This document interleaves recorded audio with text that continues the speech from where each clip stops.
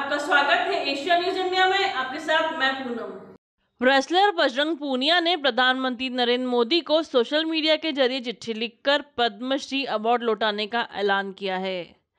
बजरंग पूनिया ने लिखा कि मैं अपना पद्मश्री पुरस्कार प्रधानमंत्री जी को वापस लौटा रहा हूँ। कहने के लिए बस मेरा यह पत्र है।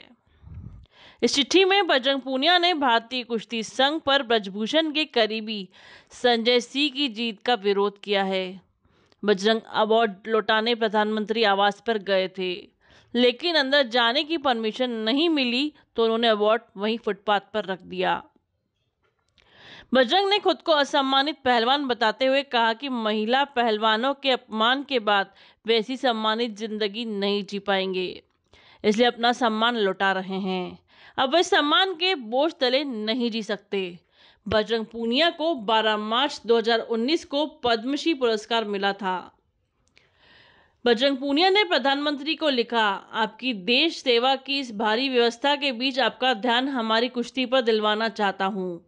आपको पता होगा कि इसी साल जनवरी महीने में देश की महिला पहलवानों ने कुश्ती संघ पर काबिज ब्रजभूषण सिंह पर सेक्सुअल हैरेसमेंट के गंभीर आरोप लगाए थे। जब उन महिला पहलवानों ने अपना आंदोलन शुरू किया तो मैं भी उसमें शामिल हो गया था।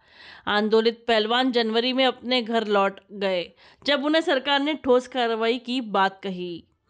लेकिन तीन महीने बीत जाने के बाद भी जब ब्रजभूषण पर एफआईआर तक नहीं की, तब हम पहलवानों ने अप्रैल महीने में दोबारा सड़कों पर उतरकर आंदोलन किया। ताकि दिल्ली पुलिस कम से कम ब्रजभूषण पर एफआईआर दर्ज करे। लेकिन फिर भी बात नहीं बनी तो हमें कोर्ट में जाकर एफआईआर दर्ज करवानी पड़ी। इसी के साथ बने रहे एशिया न्यूज़ इंडिया के साथ। धन्यवाद।